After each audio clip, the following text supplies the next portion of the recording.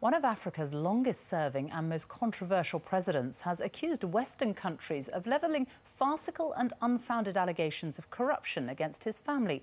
French and American investigators have accused the family of the president of Equatorial Guinea of diverting tens of millions of dollars of state oil revenues into personal bank accounts. Hard Talk's Stephen Sackur reports from inside the tiny oil rich West African country. A brand new highway deep inside the West African rainforest. Deserted.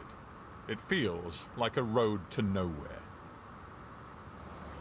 And then we arrive. In the middle of the jungle, a city is rising.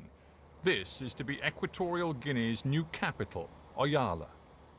This has to be one of the most extraordinary construction projects I have ever seen. I'm on the roof of a 450 room, five star luxury hotel that comes complete with a full size theatre, a convention centre, and carved out of the jungle, an 18 hole championship golf course. It's a spectacular vanity project in a country where most people live on barely a dollar a day. Equatorial Guinea is a dictatorship, long run by this man, Teodoro Obiang. His family has been accused by critics of rampant corruption.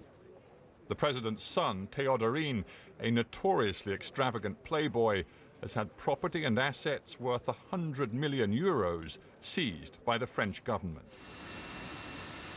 Oil and gas are the keys to understanding the Obiang regime. Equatorial Guinea is the third biggest producer in sub-Saharan Africa. The oil bonanza certainly hasn't changed these people's lives. Average life expectancy barely tops 50. Public dissent is dangerous in this one-party dictatorship, but anger is close to the surface. The people of Equatorial Guinea are suffering. All the oil money is taken by the president's family but no one can say anything. If you do, the secret police would come to arrest you. The president gave me a rare interview. He's 70, but in no mood for retirement. I have been in power for so long because of the will of the people. It is the people who decide.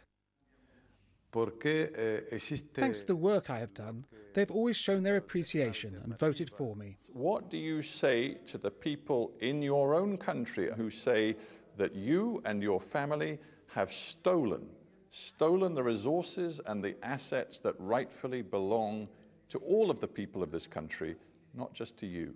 Eh, yo creo que esa es una información falsa. That information is false. On the contrary, Lo que my government has improved the living standards of the people and provided better infrastructure for everyone.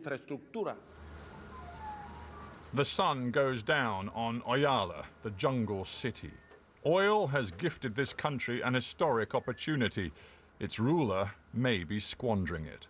Stephen Sackur, BBC News, Equatorial Guinea. And you can see Hard Talk's two programmes from Equatorial Guinea tonight and tomorrow on the BBC News channel. The Queen is